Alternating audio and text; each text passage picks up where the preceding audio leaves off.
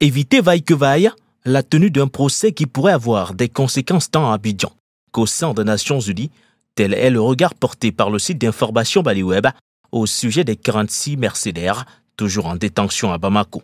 Pour le site d'information balien, la dernière mission de la CDO comprenant les présidents ghanéens, gambiens, ainsi que le ministre des Affaires étrangères du Togo, n'a connu d'avancée significative dans l'évolution du dossier en question. Le silence de Carpe observé par les membres de cette mission après leur audience avec le colonel Assimi Goïta en dit sur la complexité des négociations initiales barbélies par les autorités togolaises.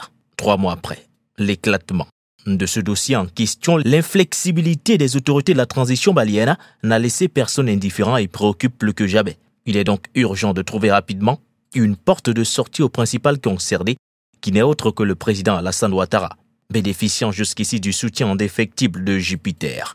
Le terme utilisé pour désigner l'ancienne puissance coloniale, le président ivoirien, selon Maliweb, aurait reçu un autre soutien de poids, celui du secrétaire général des Nations Unies. Ce soutien affiché par Antonio Guterres obéit à une règle, celle de transformer les victimes en coupables, là où les intérêts de certains sont en jeu. Bien au-delà de ce jeu d'alliance actuellement observé, le rôle troublant des contingents allemands n'est pas un reste. Quelle est l'implication réelle de l'Allemagne dans cette affaire?